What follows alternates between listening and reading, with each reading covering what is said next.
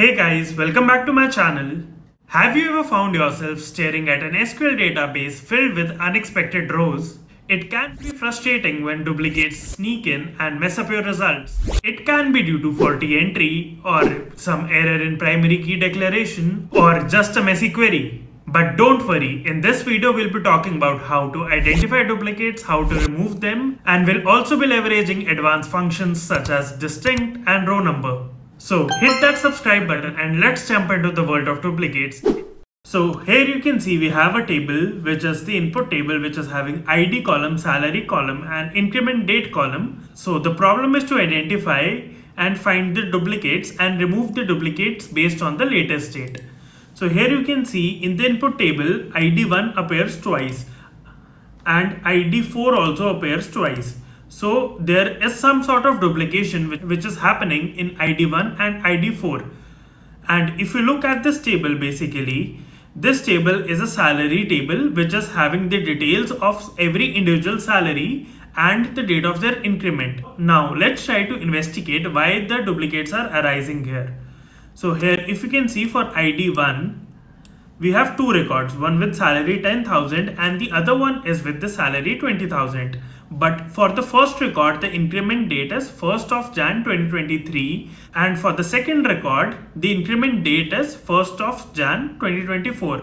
For, so definitely from here, we can see that this is a time series based table and we'll be having records for every increment day. So we have to take records which are having the latest increment date and also similarly for ID4 we have two records. One is one record is for Jan 2023 and the second record is for Jan 2024. So in this case also we have to take the latest record which is Jan 2024.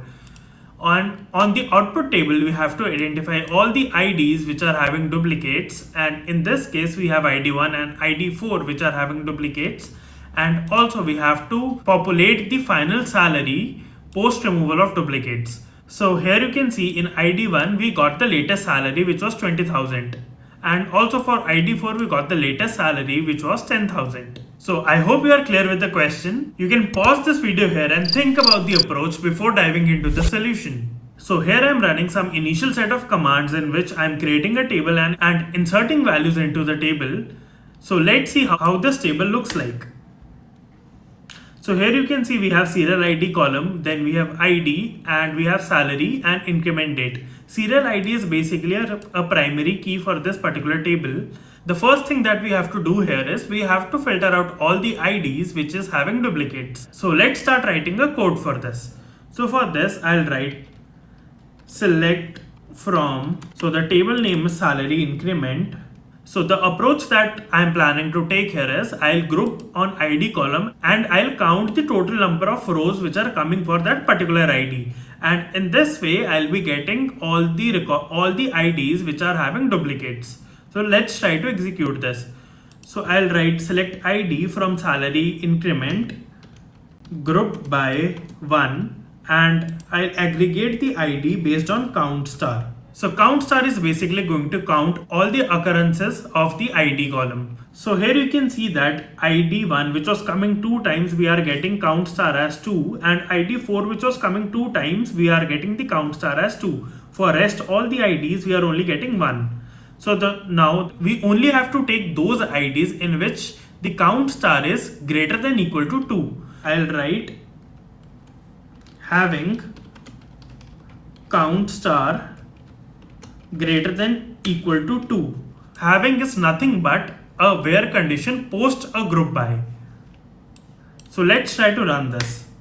So here you can see now I have got ID1 and ID4 which were the duplicate IDs. By this way basically you can find out all the IDs which are having duplicates and probably you can remove the duplicates. In the next step let's now try to understand how we can remove these duplicates. Let's have a look at the table once again. So here you can see for ID1, I have two occurrences and my next job is to filter out the latest occurrence. So I'll be doing that by using a row number function. If you're not very clear about the concept of how row number rank and dense rank work, you can visit my previous video which is pinned on the top right corner of this video. I'll do a select star comma plus I'll write a row number condition here. So I'll write row number and I'll do a over partition clause. So in this case, we'll be partitioning by ID column and since we want the latest occurrence, so we'll be ordering the increment date descending as row number from salary increment. So let's try running this out and see how the output looks like.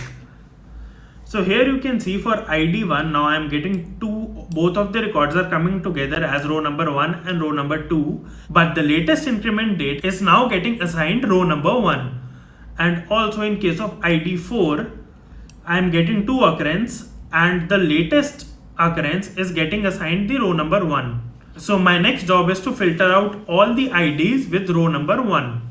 So I'll put this into a CTE. So I'll write with base as. So I'll get this base and here I'll write select ID column then salary and increment date from base where Rn is equal to 1. So I'll run this and now you can see that the output table is having no duplicates and also for the IDs which are previously having duplicates, we are getting the latest entry. Hope you are now clear with the concept of how to handle duplicates and if you are encountering duplicates, how you can remove these duplicates using a row number clause. If you like this video, do share it with your friends and consider subscribing to the channel. I'll be coming up with more such videos and if you want me to solve any question, do drop your questions in the comment section. Thank you.